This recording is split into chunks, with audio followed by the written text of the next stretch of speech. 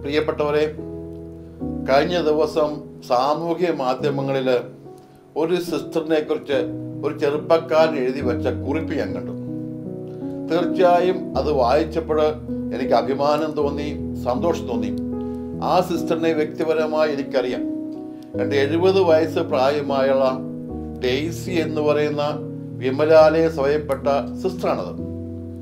Sister ഇടവക ജീവിച്ച കാലത്ത് ഒരു ജീവിച്ച ഉച്ചകാലത്ത് ഇടവകയിൽ എല്ലാ കുടുംബങ്ങളിലും പോയി എല്ലാവരും കണ്ടും കേട്ടും വർത്താനം പറഞ്ഞു ഇങ്ങനെ ഒരു സ്നേഹത്തിന്റെ ദൂതുമായി കുളിരളവോട് നടക്കുന്ന സിസ്റ്റർ വലിയ അഴകോ വലിയ പ്രാഭവമോ വലിയ സിദ്ധികളോ പഠനങ്ങളോ ഒന്നുമില്ല സാധാരണ ഒരു കന്യാസി പ്രായമായി.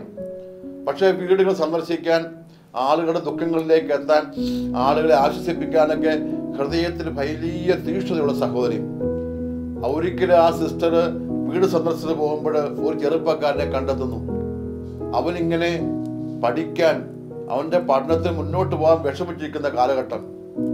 നീ എന്താടാ പ്ലസ് ടു കഴിഞ്ഞ് പോകാത്തത് മുന്നോട്ട് പോകാതെ ചോദിച്ചപ്പോൾ ഏതോ ഒരു കോഴ്സിന് പോകാൻ പൈസ വേണം. ആ പൈസ ഇല്ല. പൈസ ഇല്ലാത്തതുകൊണ്ട് ഈ വർഷം പോകുന്നില്ല. രണ്ട് രണ്ട് വർഷം കഴിഞ്ഞ് പണിയെടുത്തിട്ട് പൈസ ഉണ്ടാക്കിയിട്ടേ പോകുന്നുള്ളൂ എന്ന് പറഞ്ഞു. സിസ്റ്റർ പറഞ്ഞു എടാ ഞാൻ നിന്നെ സഹായിക്കടാ. ഇവൻ അതൊരു ഭംഗി വാക്ക് മാത്രമാണ് വിചാരിച്ചത്. പക്ഷേ സിസ്റ്റർ സാമാന്യം സമ്പന്നമായ കുടുംബത്തിലെ അംഗമായ സിസ്റ്റർ വീട്ടിൽ ചെന്നു. അന്ന് കോൺവെന്റ് ചേരുമ്പോൾ അന്ന് ധരിച്ചിരുന്ന മാല ധരിച്ചിരുന്ന കമ്മൽ ഇതൊക്കെ വീട്ടിൽ ഊരി കൊടുത്തിട്ടാണ് പോകുന്നത് ആ മാലയും കമ്മലും വളയും ഒക്കെ എടുത്ത് വിറ്റും പണയും വെച്ചും ഒരു തുക സമാഹരിച്ചു. വീട്ടുകാർ പറഞ്ഞു എന്റെ പൈസയായിട്ടുള്ളതല്ലേ തരണമെന്ന് പറഞ്ഞു. ഈ പൈസ കൊണ്ടുവന്ന് ഈ ചെറുപ്പക്കാരന് കൊടുത്തിട്ട് പറഞ്ഞടാ നീ കോഴ്സിന് വെക്കും ഇവൻ അനുഭവത്തോടെ നോക്കിയൊന്നും സാധാരണ ഒരു സമൂഹ ജീവിതത്തിന്റെ മഠത്തിന്റെ നിയമപരിധിക്കുള്ളിൽ വെച്ചിട്ടൊന്നും ചെയ്യാൻ പറ്റില്ല. മഠത്തിലെ പൈസ ചോദിച്ചാൽ മഠത്തിൻകാർക്ക് അത്ര സമ്പത്തൊന്നുമില്ല. പക്ഷേ ഈ സിസ്റ്റർ സ്വന്തം വ്യക്തിപരമായ ഉത്തരവാദിത്തത്തിൽ സ്വന്തം പണം കണ്ടെത്തി കൊടുക്കുക. ഇവൻ തിരിച്ചു തരുമോന്ന് ഉറപ്പില്ല.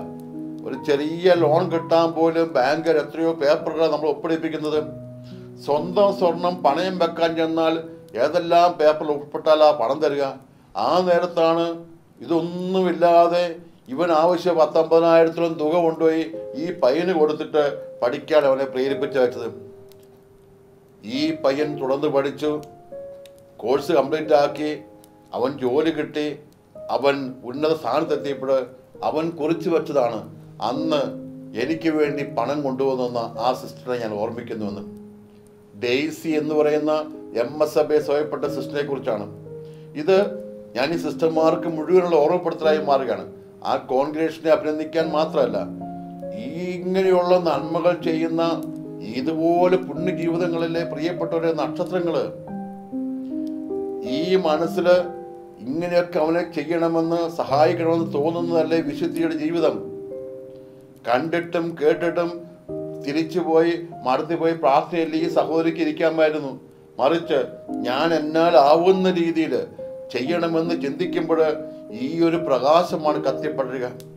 ഇങ്ങനെ അനേക ജീവിതങ്ങൾക്ക് പ്രകാശമാകുന്ന ആയിരക്കണക്കിന് സഹോദരിമാരുണ്ട്. ഞാൻ ഈ ഡേയ്സ് സിസ്റ്ററിനെ സ്നേഹത്തോട് ഓർത്ത് പറയുമ്പോൾ ഇതേപോലെ ശുശ്രൂഷ ചെയ്യുന്ന എല്ലാ സഹോദരിമാർക്കും എല്ലാ സമയപ്പെട്ട സിസ്റ്റേഴ്സിനോടും ഞാൻ പറഞ്ഞു വെക്കും നിങ്ങൾ അനേകരുടെ കുഞ്ഞുങ്ങളുടെ ജീവിതങ്ങളിലേക്ക് പറ്റുന്ന പോലെ സഹായിച്ചു കൊടുക്കുമ്പോൾ ഒരു ദീപം അവന്റെ അവളുടെ മനസ്സ് നിറച്ചു വെക്കാണ്. ദീപങ്ങൾ കത്തിച്ചു വെക്കുന്ന വലിയ പ്രകാശഗോപുരങ്ങളായി നിങ്ങൾ മാറാൻ നിങ്ങൾ ഓർപ്പിക്കുന്നു.